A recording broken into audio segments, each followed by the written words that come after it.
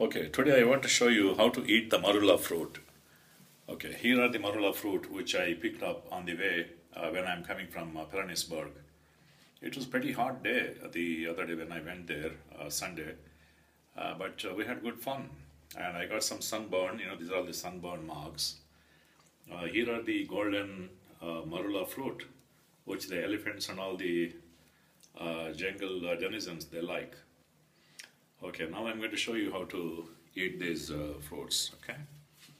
Okay, here is the marula, which is pretty ripe. I mean, it's good. It's uh, just ripe, not overripe. If it's overripe, then it produces alcohol, and uh, that gives a lot of kick.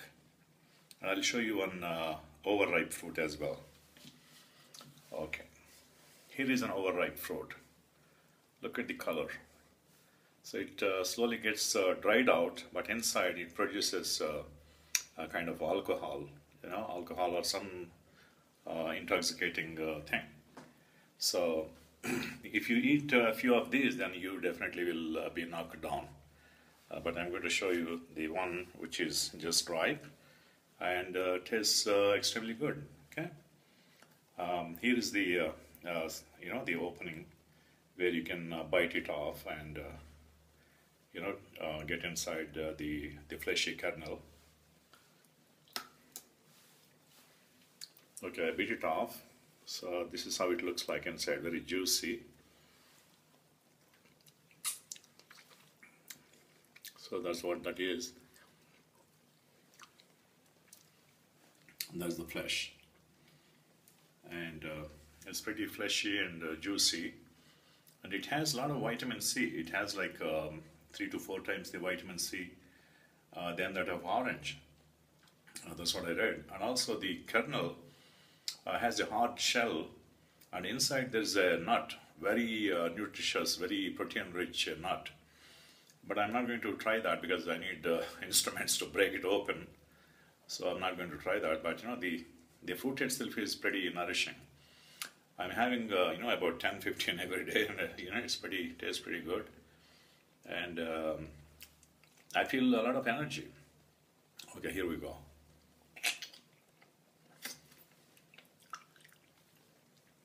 That's what that is. This is like a shell, but still there's a lot of juice inside.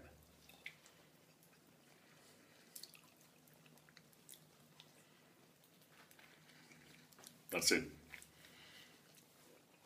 It no longer has anything. And I'm going to show you some uh, uh, seeds which I have just uh, completed. Um, here is the seed. It has a lot of cotton outside. There's a lot of cotton fiber and a fleshy uh, uh, content along with the cotton. So it uh, keeps itself wet for quite some time. It's very difficult to dry this out which gives me an idea that uh, this could be an excellent uh, hydrating agent. You know, like uh, moisturizing uh, cream can be made from this uh, uh, pulp. I'm not sure why nobody has ever tried, but this would be an excellent material for the hydrating gels, and particularly to use in winter or even in summer to cool down. So that's what I felt. Uh, the kernel, you know, probably about uh, 10 grams, you know, uh, about 10 grams or so, 8 to 10 grams. And very nutritious nut inside. That is that. Again, let me show you all the uh, the fruits which I have been uh, collected on the way from uh, the marula fruit, from which the amarula liquor Amarula liquor is made from these fruits and they're not. You can uh, listen to the beautiful song by Amanda Jenssen, um, Amarula Tree. You can look for that song in YouTube. It's a beautiful song uh, dedicating uh, uh that song to the Amarula tree and the Marula fruit. Very interesting song. Please uh, do that. Thanks for watching.